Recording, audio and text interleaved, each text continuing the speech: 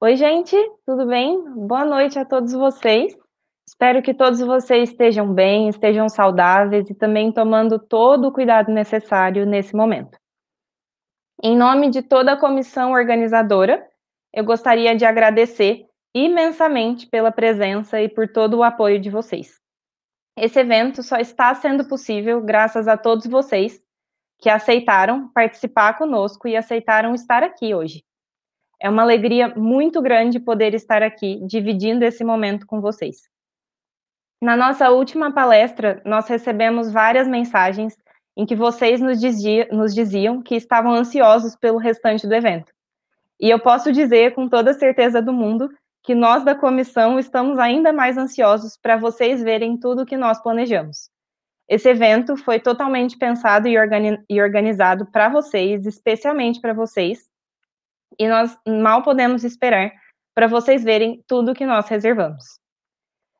É, antes de nós começarmos, eu tenho alguns avisos bem importantes para dar para vocês. O primeiro deles é que, assim como foi feito na nossa última transmissão, cerca de 20 minutos antes do final dessa palestra, a gente vai enviar no, na descrição desse vídeo o formulário de presença. Você, ele vai ficar disponível até a meia-noite e a sua presença só vai ser contabilizada se você responder esse formulário. Então, por favor, não deixem de preencher. A segunda coisa é que eu gostaria de lembrar que as inscrições dos nossos minicursos estão abertas. Mesmo você já estando inscrito no evento, você não está automaticamente inscrito em minicursos. Então, não deixe de ir até o nosso site e se inscrever no minicurso da sua escolha, porque as vagas são limitadas. Então, corre lá. Por fim, eu gostaria de pedir que vocês façam as suas perguntas pelo chat. É, nós temos aqui membros da comissão que vão selecionar as perguntas e que depois, no final dessa apresentação, nós vamos repassá-las para o palestrante.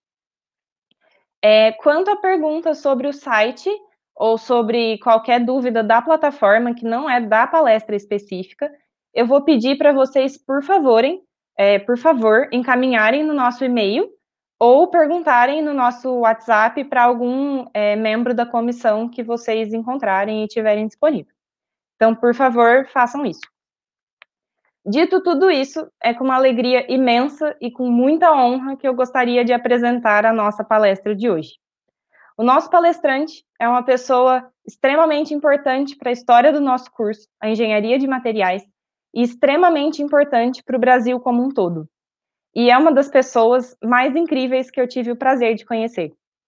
Nosso convidado de honra, o professor Sérgio Mascarenhas, é um físico-químico que trouxe grande avanço social, científico e tecnológico para o Brasil, sendo uma grande inspiração para nós engenheiros de materiais. Entre tantas coisas que fez, destacamos aqui uma de importância vital para nós. Foi o professor Mascarenhas que realizou grandes esforços na criação da Universidade Federal de São Carlos e do primeiro curso de engenharia de materiais em toda a América Latina, nessa mesma universidade. É, hoje, o professor Mascarenhas nos enviou um vídeo da sua palestra, que nós vamos passar agora, pois ele não pôde estar presente é, presencialmente para dar essa palestra. Mas, no final da palestra, ele vai entrar ao vivo para responder todas as dúvidas de vocês. Hoje, então, é com enorme prazer e alegria, e também com um grande agradecimento, que recebemos o professor Sérgio Mascarenhas para a nossa primeira palestra, O Futuro da Ciência e da Engenharia de Materiais no Século XXI. Seja muito bem-vindo, professor.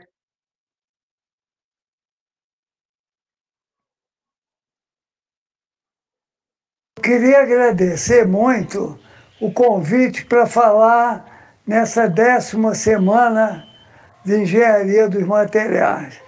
Eu escolhi uh, descrever para vocês, na minha visão, de cenários que vão ser oportunos para desenvolvimento de pesquisas, de novos materiais no século XXI. E eu sempre começo a minha palestra com uma grande mensagem com que eu tive contato no Vaticano, quando eu trabalhei na Itália por 12 anos, a convite do grande cientista Abdul Salam, eu passei 12 anos indo para Itália e trabalhando com ele na área ah, de biologia, de física médica, e aí eu entrei em contato, por razões culturais, com a equipe de físicos e químicos do Vaticano. E lá estava havendo um grande restauro de várias obras famosas que vêm do Renascimento, 1500 mais ou menos. Uma delas, pela qual eu me apaixonei, foi a Escola de Atenas, de Rafael. Eu sempre começo a minha palestra com a Escola de Atenas, que é um, um mural, ela não é uma pintura, ela é pintada num muro. Então ela se chama mural. E esse mural dura muito mais, porque você usa os pigmentos, as tintas, dentro ah, da massa da parede, da argamassa. Então ela penetra e fica protegida. Então essa obra é monumental. Escola de Atenas de Rafael, do que eu considero como uma mensagem do século XXI, do século XVI para o século XXI. Então, ah, nessa segundo slide, nós temos duas figuras emblemáticas que compõem a escola de Atenas, com Platão com o dedo elevado para, o, para cima, representando as ideias abstratas. E, do outro lado, do Janus Bifronte, o futuro é representado por Aristóteles com a mão espalmada para baixo para o mundo material. Esse Janus é uma figura mitológica que é somente da mitologia romana. Ele não existia na mitologia grega. É bifronte. Ele significa que você está olhando o passado pela figura uh, do homem e que você está prevendo o futuro pelo que te ensina o passado com a figura que olha para o futuro, que seria emblematicamente uma mulher. Então, essa interpretação é muito interessante, porque ela mostra que você não pode planejar o futuro, isso é, tendo teoria, sem ter uma visão adequada para poder planejar o futuro. É muito importante no cenário do século XXI que se possa utilizar o que se chama de inteligência artificial. A inteligência artificial, ela é a ideia de que se você poderia substituir os 80 bilhões de neurônios do Homo sapiens, que somos nós, num robô, num computador. Essa é a pergunta fundamental da própria filosofia do século XXI. Tem duas grandes uh, visões desse problema. Será que nós vamos ter um computador que vai ser mais capaz de dominar, interpretar e usar conhecimento, que é a estrutura da chamada cognição, do que o próprio ser humano, então eu vejo a, a, a minha opinião pessoal é que nós vamos construir computadores e colocá-los dentro de robôs que vão ser mais potentes do que a própria cognição humana. E por que isso? Por que, que eu penso assim? Porque o ser humano demora muito para aprender as coisas. Por exemplo, para formar um médico cardiologista, você não pode ter menos que uns 10 anos de prática. Agora, além de tudo, esse Homo sapiens, que é o ser humano, ele aprende medicina, aprende física, aprende matemática, mas não aprende todas elas para ser um ser transdisciplinar.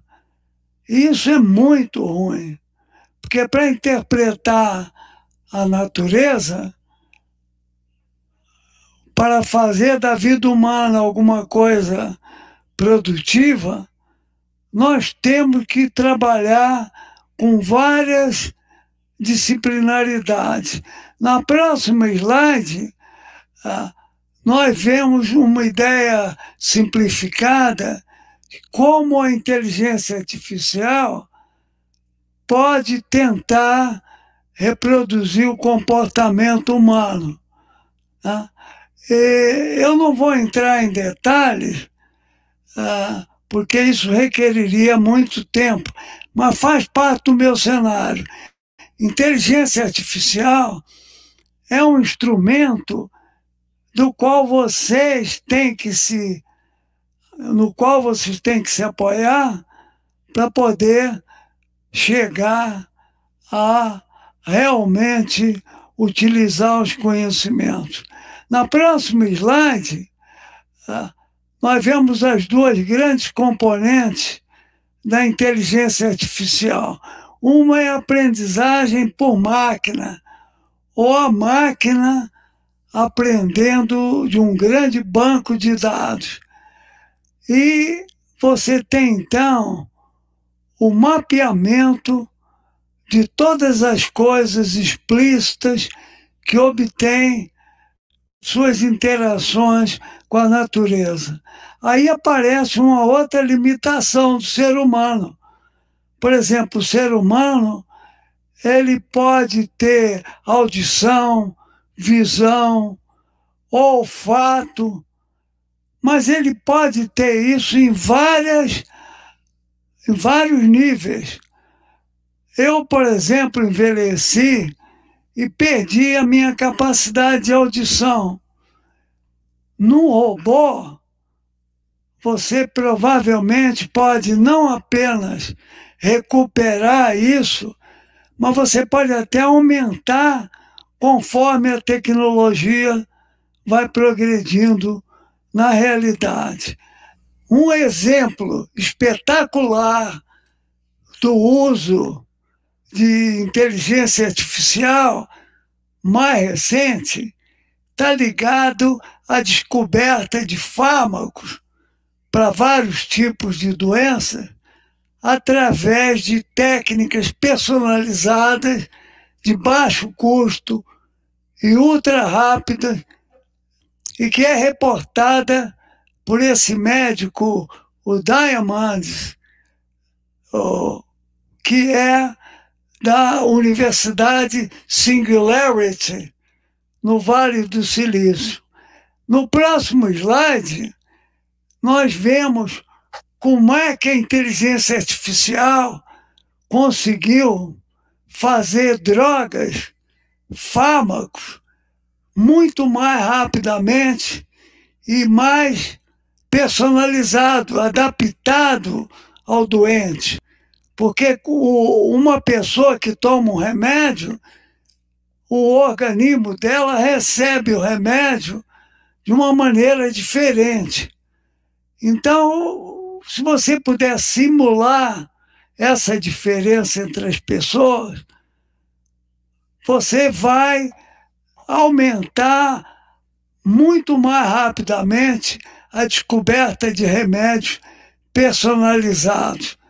No próximo slide, ah, nós vemos uma outra aplicação que é você fazer ah, um tipo de inteligência artificial operativa em que você põe duas estruturas de, né, inteligência artificial jogando uma contra a outra. Então, esse é o método GANS, que é Generative Adversarial Network. Isso é você colocar algoritmos indagando do outro e chegando a, a ver uma aprendizagem mútua.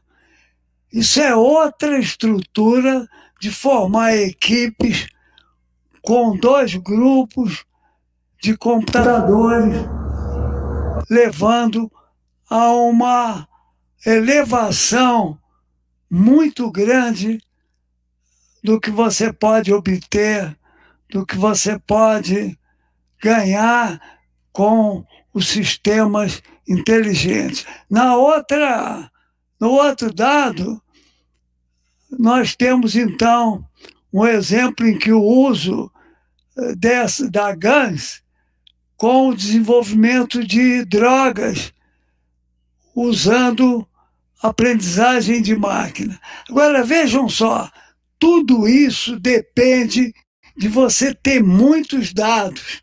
Então isso leva ao conceito de big data, de grandes bancos de dados. Só foi possível isso no século passado com a invenção do computador digital, Senão você tinha que botar num livro, numa biblioteca, numa enciclopédia. Hoje isso está no seu celular. Então, hoje, a partir do século XX passado, com a invenção do, da eletrônica, com o que levou ao computador digital, nós demos um salto para grandes bancos de dados. Eu estou, inclusive, trabalhando nisso aqui em São Carlos com o professor Glaucio Oliva, que é especialista na área de fabricação e modificação de drogas, que na maioria são proteínas.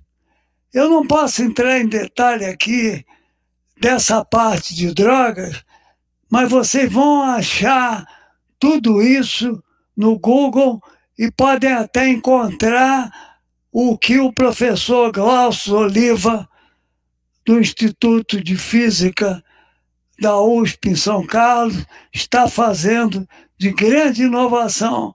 E, e eu propus ao Glaucio que nós comecemos a trabalhar junto numa técnica que eu desenvolvi que permite a você medir, monitorar a pressão arterial.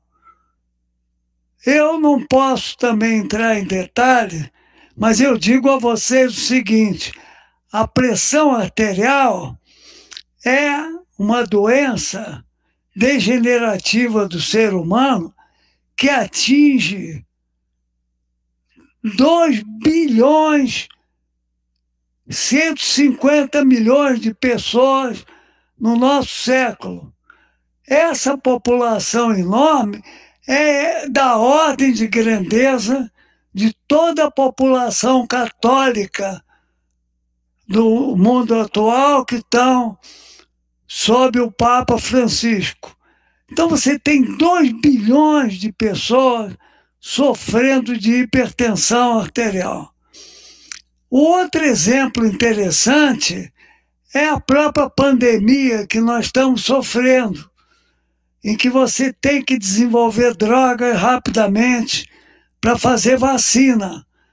parece que nós vamos ter a vacina até o fim do ano, e aqui no Brasil nós fizemos uma associação entre os chineses e os ingleses com a Universidade de Oxford, que estão ensinando, transferindo tecnologia para o Instituto Butantan, em São Paulo, para fazer 100 milhões de dólares dessa vacina para nós sairmos da terrível pandemia que nos ataca, ataca presentemente.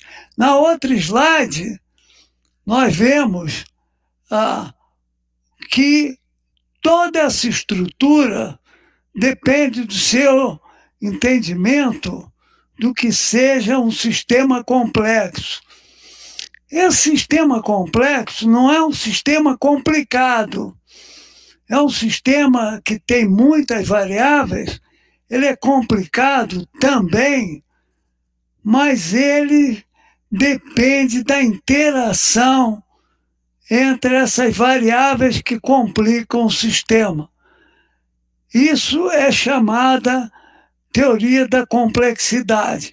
A complexidade ela pode vir da interação entre os parâmetros da complicação, como pode vir de outras razões, como por exemplo, se você tem o, o genoma humano, ele foi considerado como o grande objetivo da humanidade descobrir o genoma para você poder entender a saúde humana e as doenças humanas. Mas quando se fez o genoma humano, chegou à conclusão que eram 20 mil genes. Mas 20 mil genes, segundo a gente sabe, é muito menos do que tem um rato, um camundongo, um, um bicho muito mais simples que o ser humano. Só que encontraram no genoma não apenas esses 20 mil genes, mas encontraram dezenas de milhares de outros genes que eles não sabiam para o que servia e chamaram isso de lixo genético. Mas não era lixo genético. Há 10 anos atrás, o genoma deixou de ser mais importante.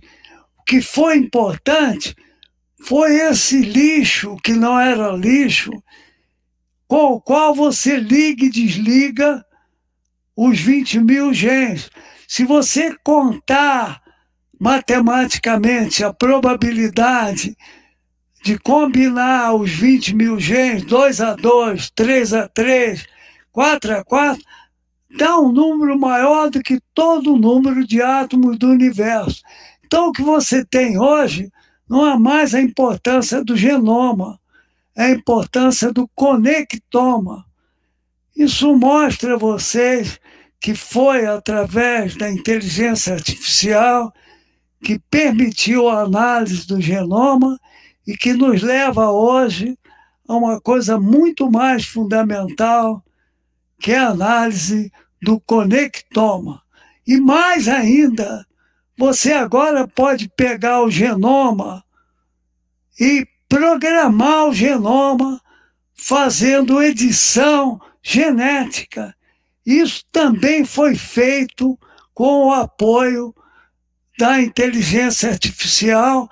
É um método que eu não posso entrar em detalhes aqui, mas que é chamado CRISP-PR é um método de você fazer edição genética que vocês podem procurar no Google para ver como que isso foi feito nos últimos 10 anos. É super recente. O que se pode fazer em materiais com a edição genética pode ser feito com edição não apenas de genes, mas pode ser feita com as drogas, com materiais metálicos, polímeros, etc. Na outra slide, eu discuto um outro problema fundamental para a humanidade, que é o problema da energia. O que sustenta a vida humana e toda a sociedade é o consumo de energia. Sem energia, você não teria a própria vida. Como é que a vida surgiu na Terra?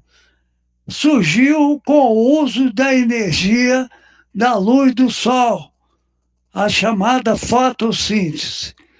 Então, um dos problemas centrais é você descobrir materiais que sirvam para a produção de energia.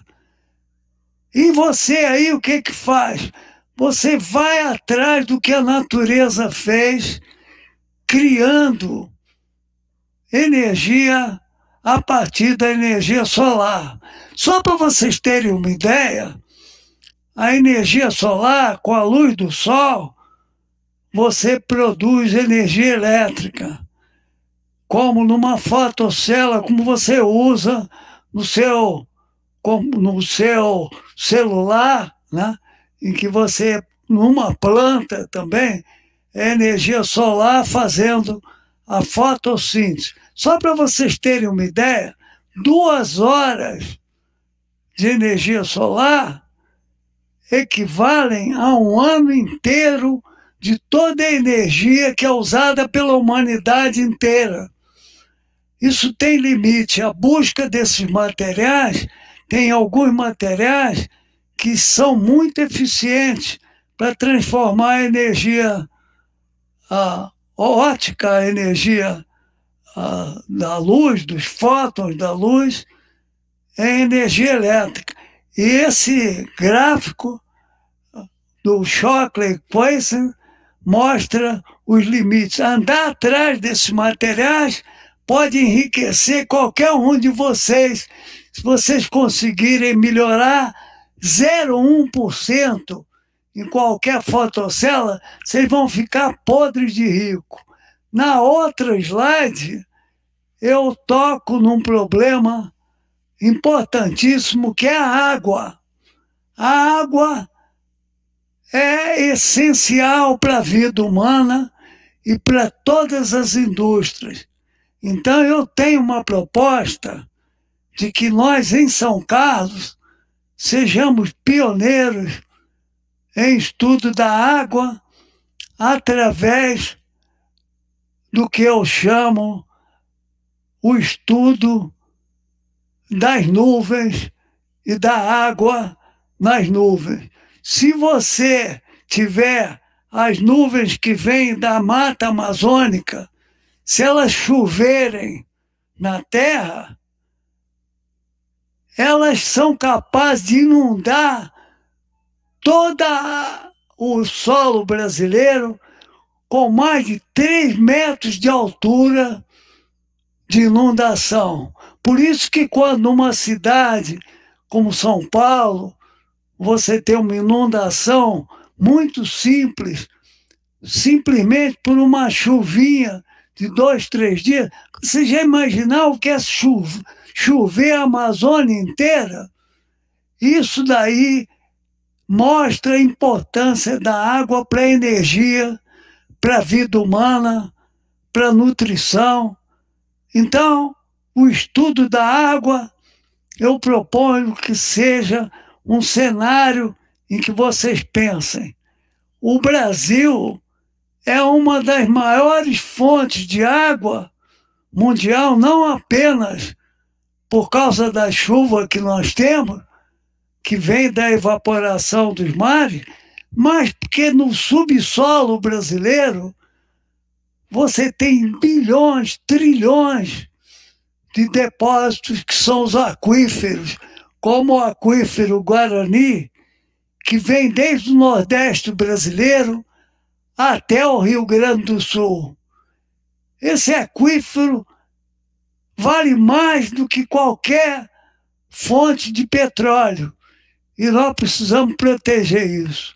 Então eu mostro pela simples análise até do capitalismo selvagem que nós vivemos, da importância de você ter grupos de estudo da água, da chuva. Por exemplo, o agronegócio, ele usa 70% de toda a água que nós usamos no Brasil. 70% de toda a água vai para irrigação, para produzir comida, e nós precisamos de entender e dominar isso, inclusive por causa do clima. Porque como você está usando energia que produz muitos, uh, muita elevação de temperatura, você está destruindo a natureza no processo de degradação climática. Então, estudar água e outros materiais é estudar o grande problema atual da humanidade no século XXI. Então eu desejo a vocês muita felicidade, porque vocês já estão no primeiro curso que foi criado em toda a América Latina de Engenharia e Ciência de Materiais e em São Carlos, onde além de materiais de vários tipos aqui na federal, na engenharia, você tem a parte biológica né, dos fármacos, como na USP, com o laboratório do professor Glaucio, você tem na engenharia estudando metais e outros tipos de materiais, por exemplo, para construção civil. Outro material espetacular recém-criado foi o grafeno, que vem do carbono. O Brasil também tem sido um país muito rico em carbono, inclusive estamos podendo produzir o grafeno. Procurem no Google o grafeno. O Brasil já tem vários grupos estudando o grafeno que pode ser um material mais forte do que o aço e substituir o aço na construção civil. E olha, nós estamos vivendo um sonho de materiais.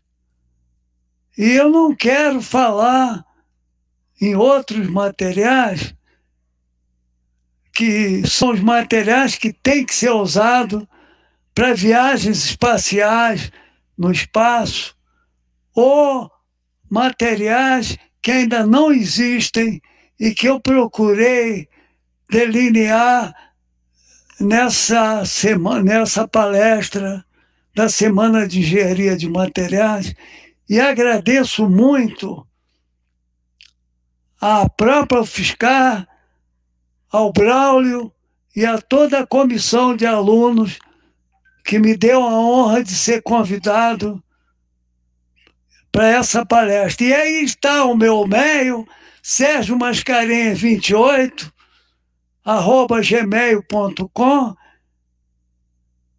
em que eu estou às ordens para discutir com vocês uh, à distância. E muito obrigado. Um grande abraço.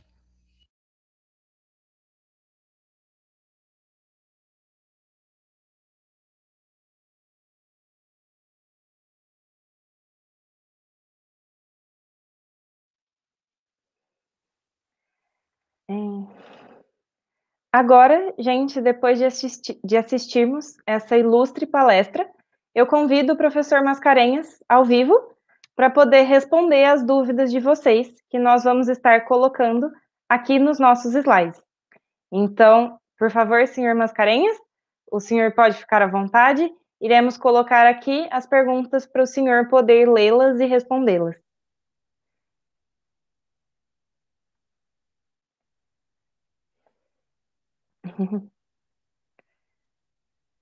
A primeira pergunta é, foi feita pelo Guilherme Castro Della Corte e ele perguntou: Professor Mascarenhas, como o senhor vê a evolução das ciências e engenharias no Brasil em uma época tão obscura e anticientífica?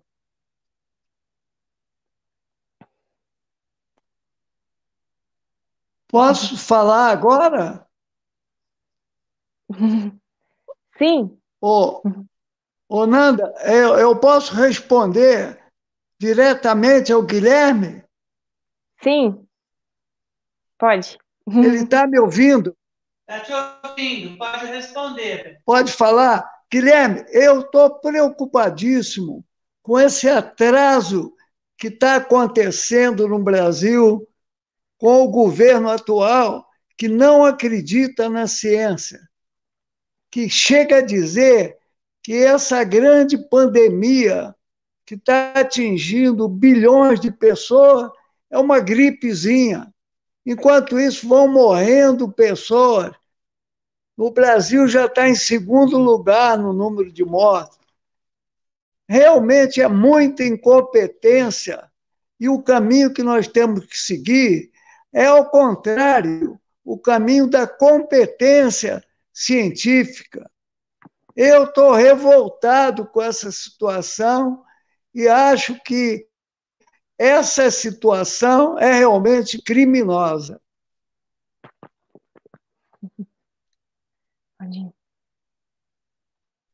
Pois não, Guilherme. Então, essa é a minha posição, concordo com você.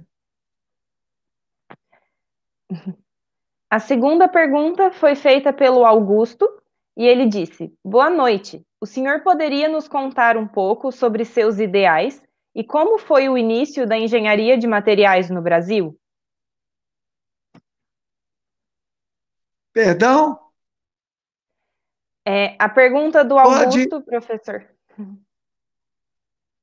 O início da engenharia de materiais no Brasil foi há 50 anos atrás, quando eu tinha voltado uh, dos Estados Unidos, onde eu estava em Boston, junto do grupo do MIT, que é um, realmente um dos núcleos mais fortes mundiais, e também tinha participado de atividades na Itália com o professor Abdul Salam, que era um paquistanês que ganhou o prêmio Nobel e que ouviu a minha ideia de criar para os países em desenvolvimento, na Itália, um grande centro de treinamento.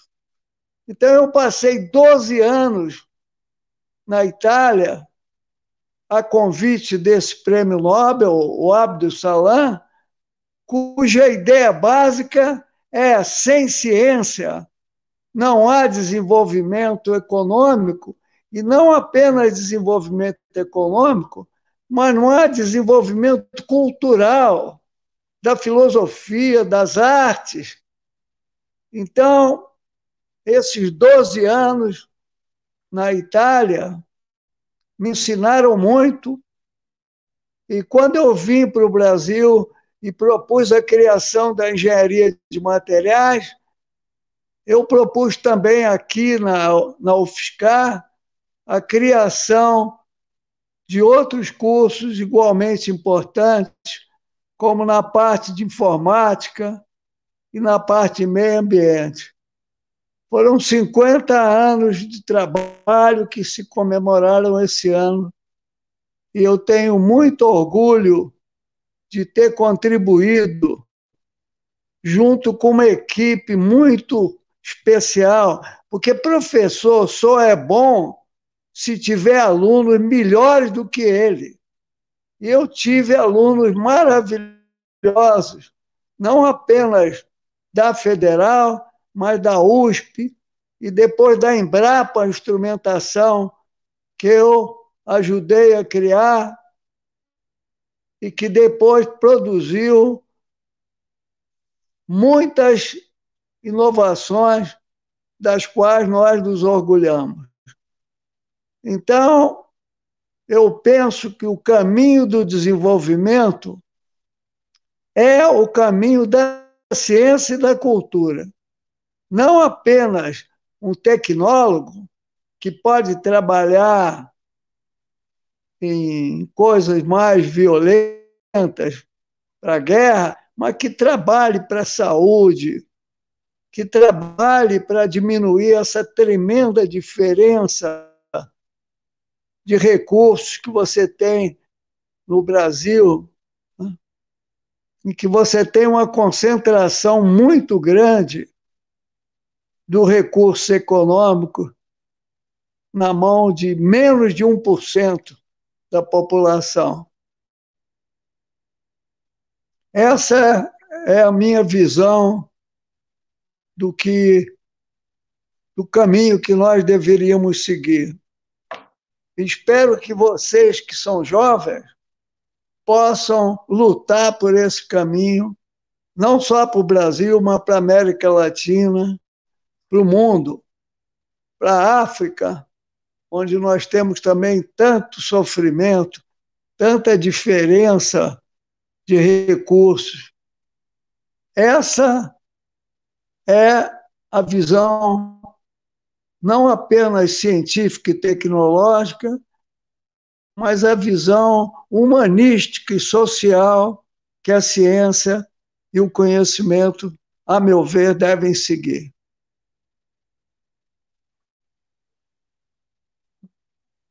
Muito obrigado, então. A próxima pergunta foi feita pelo Fábio e ele disse: Boa noite, professor Mascarenhas. Como o senhor vê o papel da inteligência artificial na seleção e no aprimoramento dos materiais de engenharia?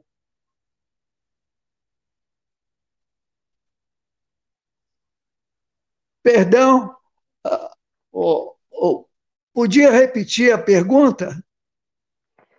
Boa noite, professor Mascarenhas. Como o senhor vê o papel da inteligência artificial na seleção e no aprimoramento dos materiais de engenharia? É, eu acho que o caminho que nós temos que seguir na, em geral é o caminho de entender que qualquer política tem que levar em conta a complexidade da sociedade. Essa complexidade é tão grande, não é que o sistema seja complicado, o sistema biológico, uma cidade, um país, ele é complexo.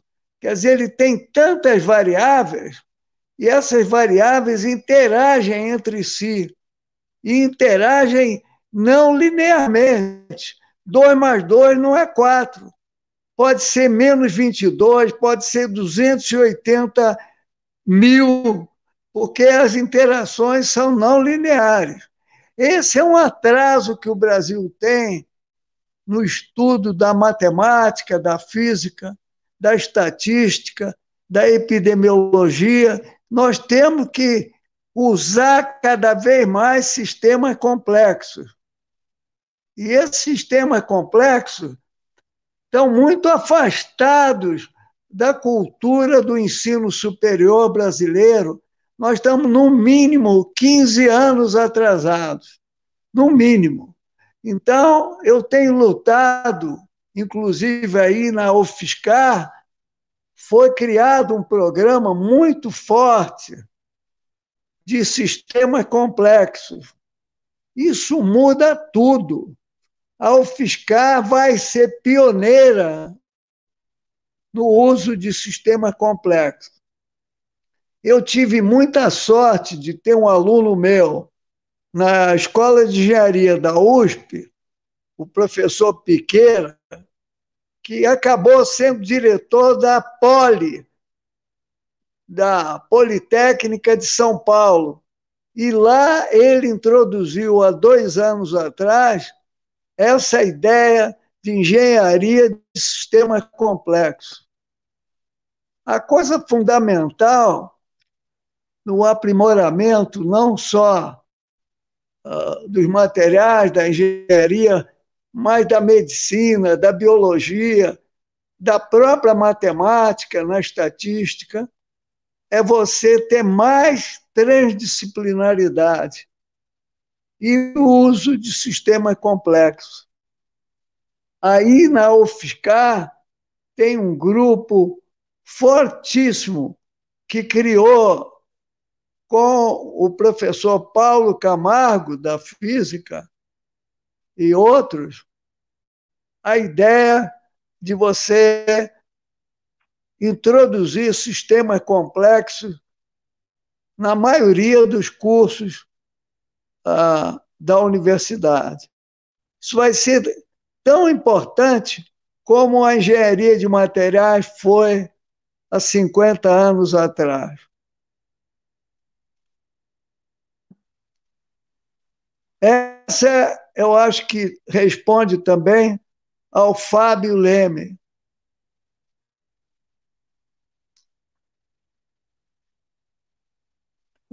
Pois não, se você quiser passar outra pergunta. É, a próxima pergunta foi feita pelo Pedro Henrique e ele perguntou: quais as, per as perspectivas para engenharia de materiais com a neuroengenharia e como adentrar nessa área? Olha, essa é uma pergunta fundamental, Pedro Henrique, porque eu estou, inclusive, trabalhando nessa área. Ah, quando eu tive uma doença, há uns 10 anos atrás, chamada hidrocefalia, eu tive que fazer uma cirurgia na cabeça para botar um, um chunte, uma espécie de válvula de pressão, para diminuir a pressão intracraniana da minha doença. E eu não me conformei e criei uma técnica para você medir a pressão dentro do cérebro sem furar o cérebro. E isso é uma coisa que os engenheiros civis usam há muito tempo para medir a deformação de, de estruturas uh, como uma viga, com uma coluna. Então, eu simplesmente apliquei a minha experiência de professor de engenharia e criei um sistema, tirei patente disso. Fui muito apoiado pela Fundação de Amparo à Pesquisa do Estado de São Paulo, que me deu recursos, também pela Organização Pan-Americana de Saúde, e consegui criar uma empresa uh, chamada Brain Care, graças a alunos meus que saíram de São Carlos e ficaram capitalizados porque criaram empresas de consultoria. Essa é outra coisa do Brasil. Não adianta ficar fazendo apenas pesquisa dentro da universidade. A pesquisa tem que sair para a sociedade, ser útil na sociedade. Então, eu tive essa sorte. E tive mais, tive a sorte de que apareceram capitalistas brasileiros que resolveram financiar a minha ideia. Eu fui para o Vale do Silício há dois anos atrás, na Califórnia, na Universidade de Stanford, e consegui validar o meu método nos Estados Unidos. Agora nós estamos abrindo uma empresa lá nos Estados Unidos também. Então, eu estou muito feliz que eu consegui não apenas fazer pesquisa básica, mas fazer pesquisa aplicada. E agora eu estou conseguindo extrair dessa técnica que eu desenvolvi pressão arterial também. A pressão arterial, a hipertensão, atinge 2 bilhões de pessoas no mundo. Você já pensou 2 bilhões de pessoas tomando remédio de manhã à noite? Eu estou trabalhando nisso com a federal também, com grupos da Universidade Federal que estão me ajudando, na USP, com o professor Glaucio para nós acompanharmos fármacos que possam amenizar todas as comorbidades que ocorrem junto com a pressão, com a hipertensão arterial. Tem muita coisa para fazer em materiais em todas as áreas. E só que tem que ser transdisciplinar. Não pode ser só física, matemática, engenharia civil, engenharia elétrica. Você tem que misturar esses conhecimentos, porque é aí que nasce a emergência da complexidade. Eu não posso entrar nesse assunto em mais detalhes, mas eu acho que é fundamental para vocês pensarem, entrarem no Google num grande instituto da complexidade no, no estado do Novo México, que foi criado por um prêmio Nobel de Física, uh, o Gelman, Murray Gelman, que depois viu que o negócio dele não era inventar o quark, a partícula fundamental pela qual ele ganhou o prêmio Nobel, mas era trabalhar em sistemas complexos. Não é complicado, é complexo. Então, olha, tem muita coisa para vocês jovens, principalmente as mulheres que têm sido, ah, pelo machismo brasileiro, excluídas da ciência, da riqueza do empreendedorismo. Eu fico muito contente que as mulheres brasileiras começam a ganhar a posição adequada. Porque, olha, pessoal, as mulheres brasileiras são mais da metade da população, são 52%. Não pode ser só doméstica, ela tem que ser cientista, assistente social, tem que ser poetisa, ela precisa realmente ganhar, mesmo porque elas são a maioria da sociedade e o resto dos homens são todos filhos dela. Elas são mais da metade e o resto são filhos dela. E nós somos machistas. Não é possível você ter uma sociedade progredindo sem as jovens brasileiras entrarem nesse progresso.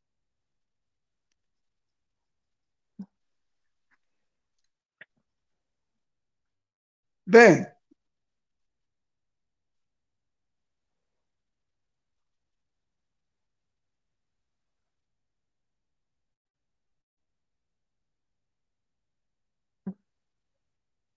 Bem, olha, o meu meio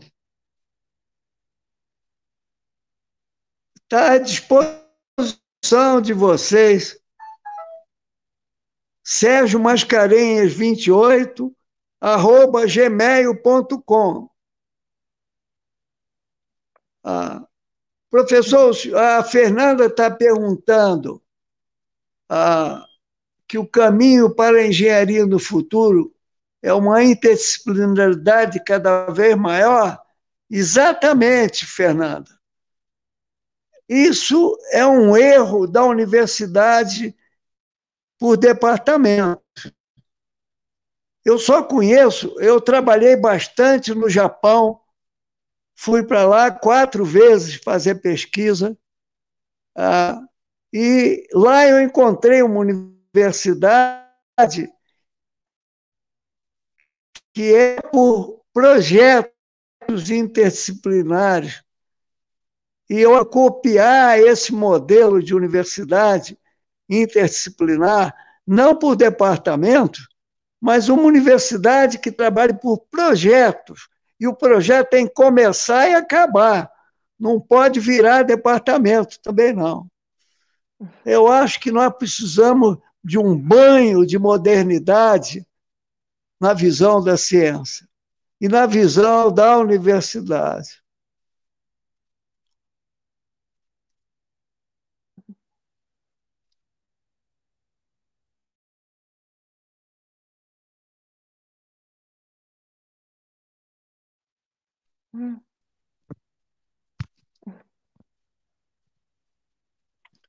Alô?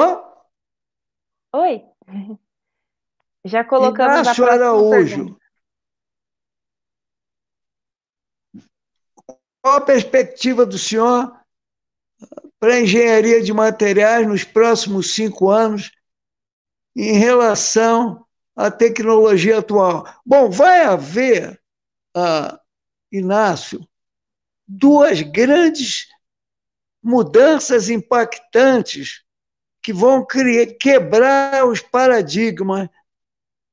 Não digo nos próximos cinco anos, talvez um pouco mais. E essas duas coisas são computação quântica, em que você vai realmente utilizar as ideias da mecânica quântica para fazer memórias dos computadores e a velocidade de cálculo vai aumentar violentamente.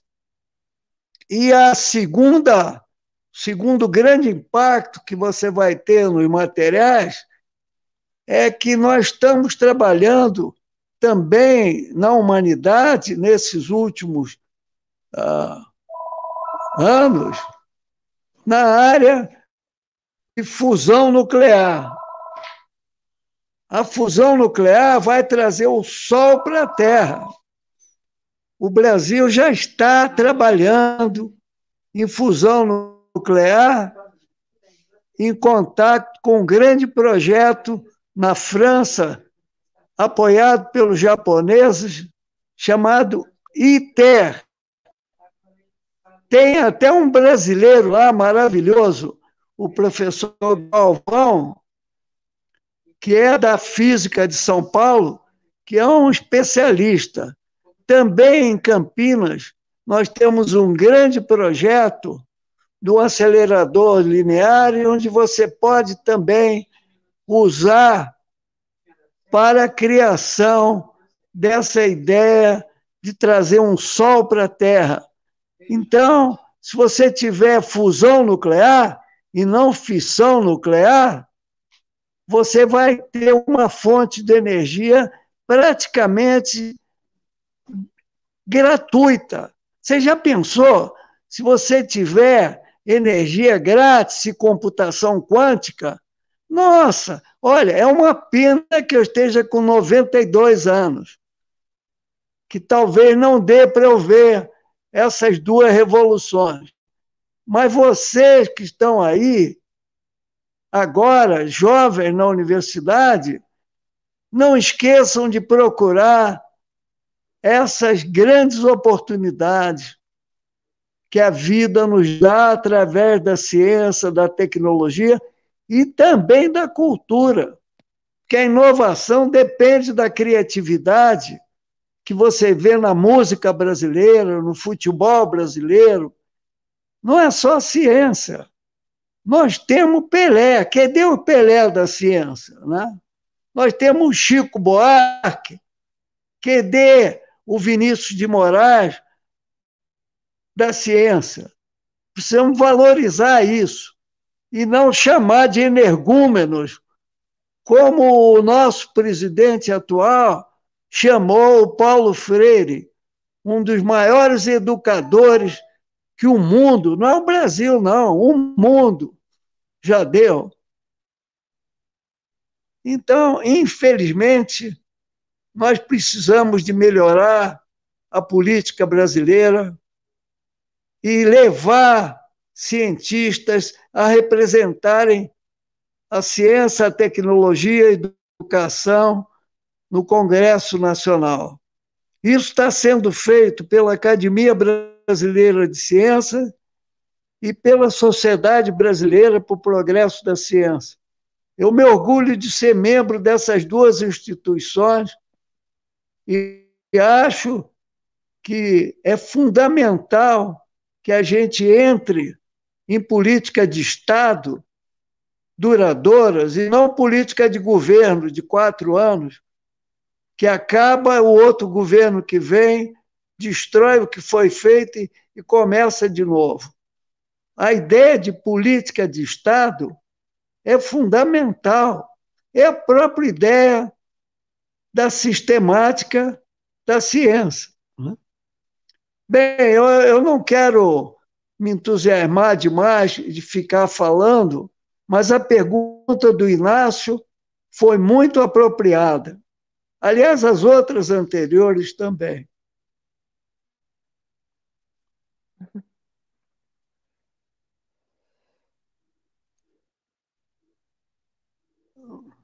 Tem alguma pergunta mais ou quer parar por aqui? Tem mais algumas, já estamos colocando. Ah, Qual é a próxima? Uhum.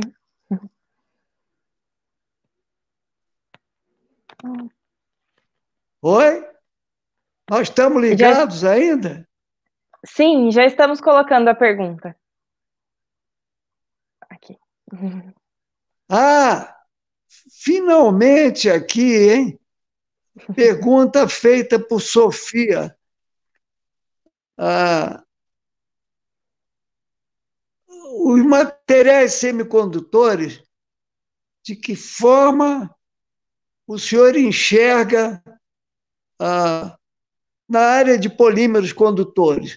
Olha, essa pergunta é muito importante. Aí em São Carlos, no Instituto de Física da USP, o professor Roberto Faria, junto com o professor uh, Guilherme uh, Léo Ferreira, que infelizmente faleceu, existe exatamente um grupo de polímeros condutores que vocês podem visitar, conhecer.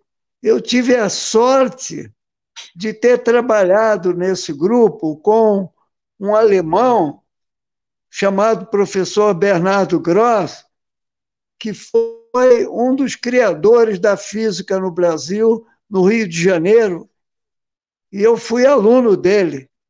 Então, você vê que muito importante em ciência é a equipe.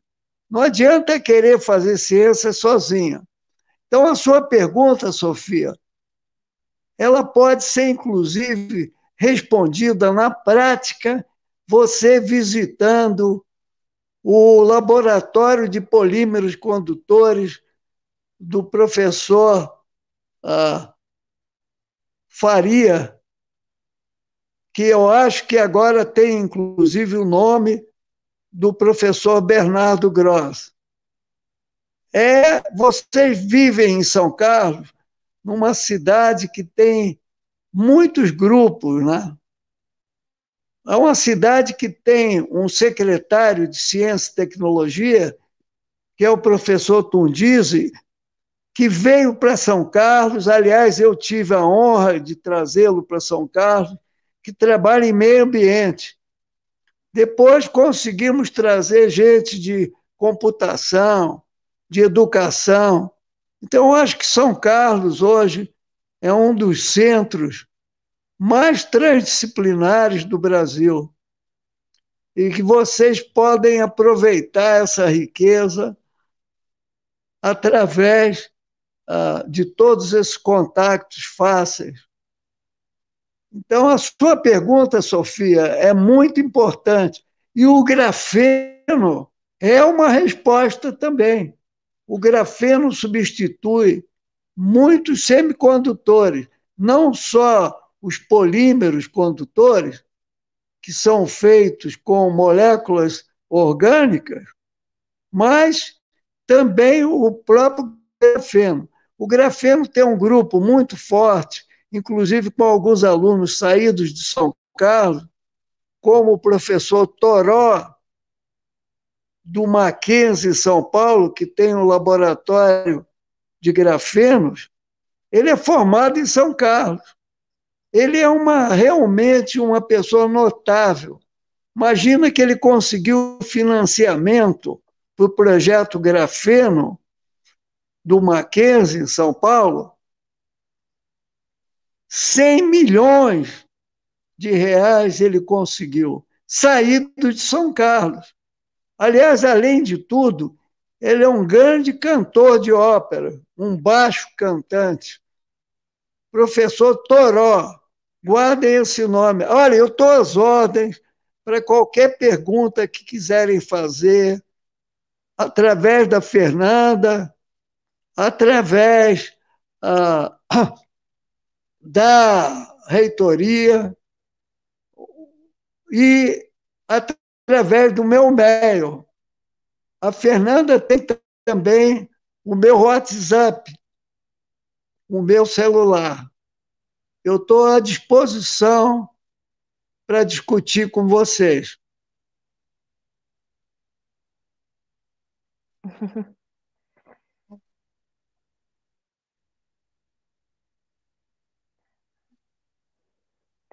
Bom, é, professor, acho que a gente já pode encerrar por aqui, então. É, eu gostaria tá imensamente de agradecer o senhor, em, não só em nome da organização, mas em nome de todos os participantes. Sua palestra foi maravilhosa e nós somos extremamente agradecidos por todos os seus esforços. Temos o senhor como uma grande inspiração em nossas vidas. Foi uma grande honra tê-lo conosco hoje e esperamos que o Senhor nos inspire por muitos e muitos mais anos. Desejo uma boa, uma boa noite ao Senhor e também a todos vocês que nos acompanharam hoje. Muito é... obrigado, Fernanda. Olha, eu fico muito feliz em estar falando aos jovens alunos, porque pela física, pela termodinâmica, o tempo é irreversível. Então, eu tenho meu tempo de validade limitado. Só que eu posso passar o bastão para os mais jovens, como eu fiz durante a minha vida de professor. Então, qual é o truque do tempo finito e reversível? É você passar o bastão para os jovens e surfar na mocidade deles. Então, eu tenho uma grande satisfação em estar falando na semana que vocês organizaram para os jovens. E boa noite, muito obrigado, muitas felicidades para todos. Boa noite, professor. Nós agradecemos demais.